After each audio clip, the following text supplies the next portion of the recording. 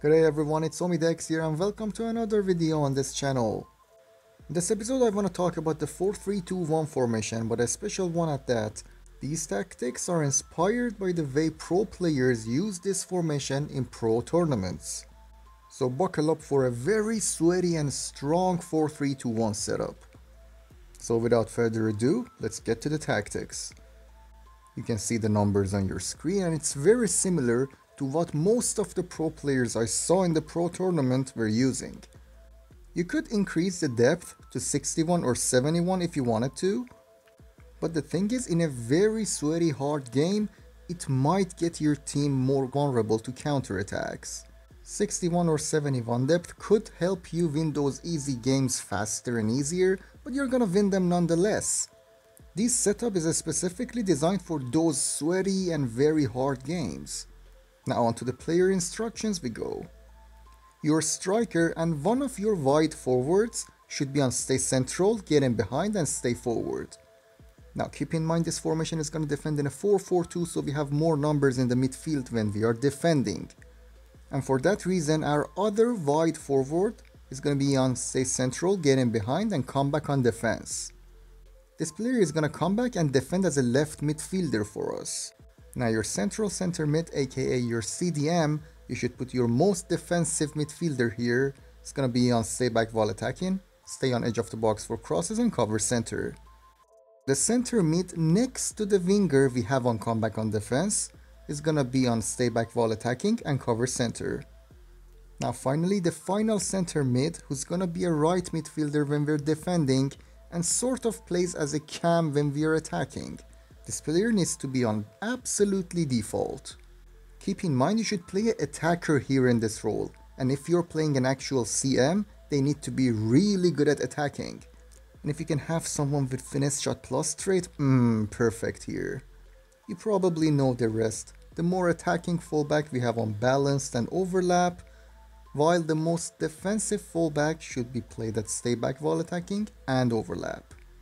Last but not least, your goalkeeper always comes for crosses and default. let's jump to some gameplay and get this baby going. The 4-3-2-1 is all about motion. You have an attacker that comes back and helps defending and runs forward. You have a midfielder that plays unbalanced and goes forward when you're attacking. And finally, you have a fullback that's unbalanced and goes forward as well. So you have three layers of runners one early, one mid, and one late run. Basically, very few other formations provide something like this in game.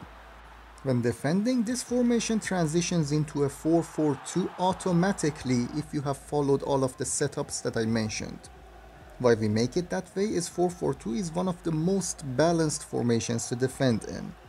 By default, this formation is a 3 midfield setup, which is amazing for killing any formation like 4-4-2, 4-2-3-1. You just outnumber them in the midfield. Well, center of the midfield that is. And finally, it's the perfect balance between a wide formation and a narrow formation. You got some width, but not too wide, and you got some players close to each other, but not too close that they're in each other's way. All in all, regardless of what formations you enjoy using in this game, one of your four existing tactics in a game should be a 4-3-2-1. It's just as simple as that. This formation is too good to just not have on your setup. You've played this thousands of times, you've played against this formation a thousand times. There's a reason why everybody is using it. Well, watch the rest of the... oh my god, voice crack. Watch the rest of the clips and if you enjoyed it, please don't forget to leave a like. I'll see you at the end of this video.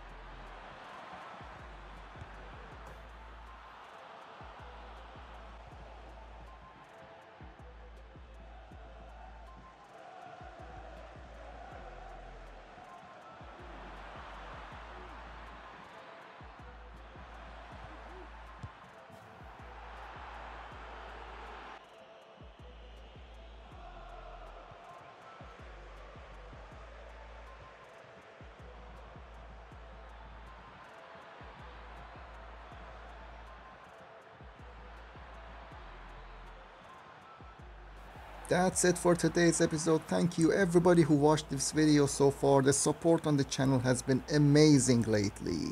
This is the end of this episode and hopefully I will see you on the next one. Cheers.